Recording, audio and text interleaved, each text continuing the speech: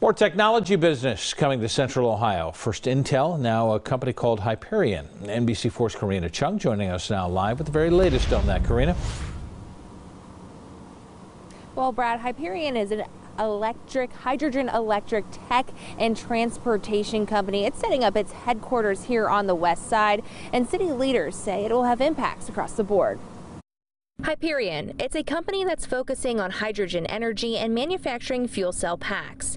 The CEO, Angelo Kafantaris, is an Ohio native. Columbus had the perfect blend because it's so diverse from the tech resources and from the manufacturing base.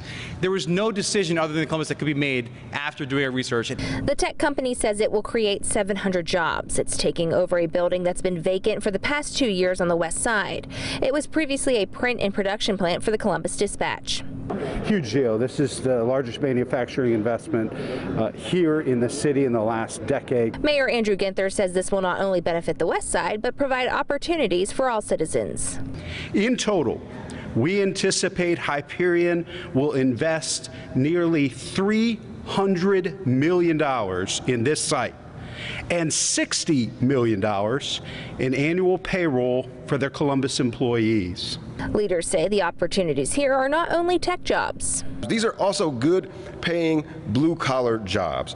233 jobs in manufacturing with an estimated salary of $61,000.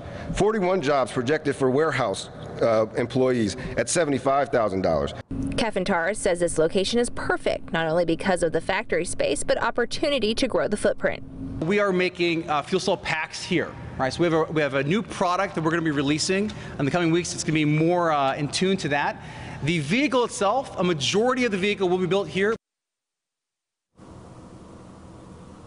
We're told Hyperion is expected to kick off manufacturing here next year. Local for you in Columbus, I'm Karina Chung, NBC4.